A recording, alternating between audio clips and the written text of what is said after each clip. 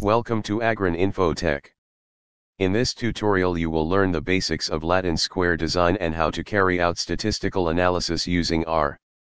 A Latin square is a design in which two gradients are controlled with crossed blocks, but in each intersection there is only one treatment level.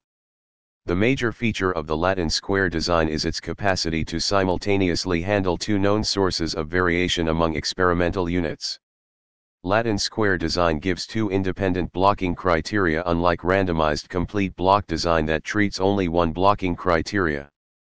Horizontal blocking is referred as row blocking and vertical blocking is referred as column blocking.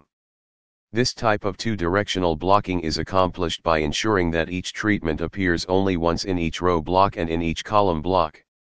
This method measures estimated variation among row and column block to considerably reduce from experimental error. Latin square design can be used in following conditions. Field trials where fertility gradient exists in two directions perpendicular to each other, or has a unidirectional fertility gradient but also has residual effects from previous trials. Insecticide field trials where the insect migration has a predictable direction that is perpendicular to the dominant fertility gradient of the experimental field. Greenhouse trials in which the experimental pots are arranged in straight line perpendicular to the glass or screen walls, such that the difference among rows of pots and the distance from the glass wall are expected to be the two major sources of variability among the experimental pots. Laboratory trials with replication over time, such that the difference among experimental units conducted at the same time and among those conducted over time constitute the two known sources of variability. Useful in animal nutrition studies. As in nutrition trials on dairy cattle, only a few cows may be available for financial reasons. Latin square design has following restrictions. The requirement of Latin square design that all treatment appears only once in each row and column block also becomes a major restriction. The experiment becomes impractical if the number of treatment is very large because of large number of replications required.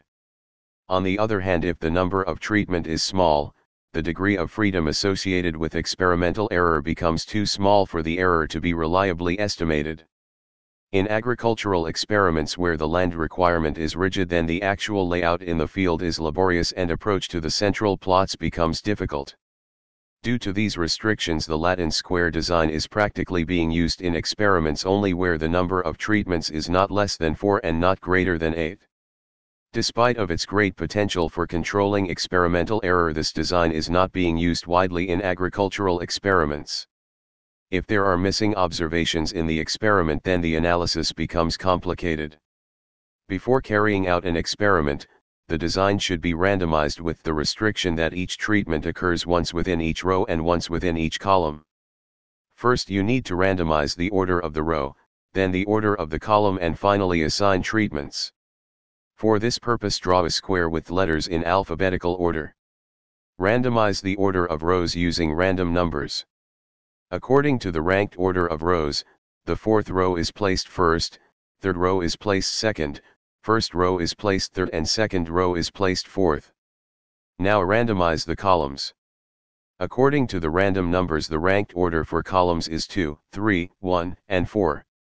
So the second column is placed as first, third column is placed as second, first column is placed as third and fourth column is placed as fourth. Now the turn is to randomly assign treatments. First assign treatments to the letters according to the random numbers. According to the random numbers the treatments rank is 1, 4, 3, and 2. Now we shall proceed with an example for analysis of Latin square design using R. Suppose we have a data which is obtained from experimental area that has two directional gradient in fertility of the soil. The data shows yield of four varieties of wheat arranged in a 4x4 Latin square design. To do analysis first you need to import data in R.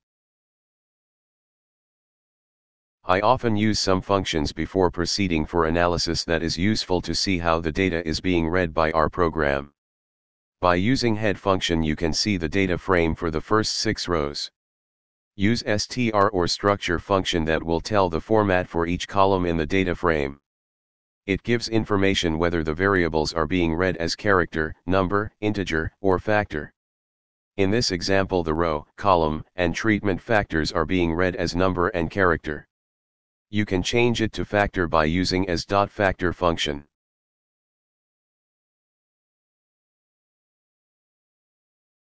By using again the structure function you will see the treatment variables have changed from character to factor.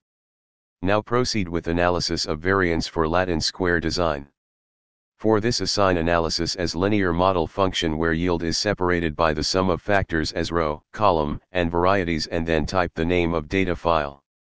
Now use ANOVA function to get the analysis of variance information. The ANOVA table represent that there is significant variation in yield due to varieties and highly significant variation due to column blocking. This information does not identify the specific pairs or groups of varieties that differed. For example, the F-test is not able to answer the question of whether every one of the three varieties gave significantly higher yield than that of the check variety or whether there is significant difference among the three varieties. To answer these questions you should go for mean comparison tests. This will require Library Agricolae. For least significant difference test use lsd.test function and in parenthesis provide model information, treatment variable, and type Bonferroni for p adjustment argument. For Tukey HSD test use previous command and replace LSD with HSD and use true for group and console argument. In main you can type title. If you want to perform Duncan multiple range test then in previous command replace Duncan with LSD. If you want to plot bar graphs then also watch the suggested videos for which the link is given in the description.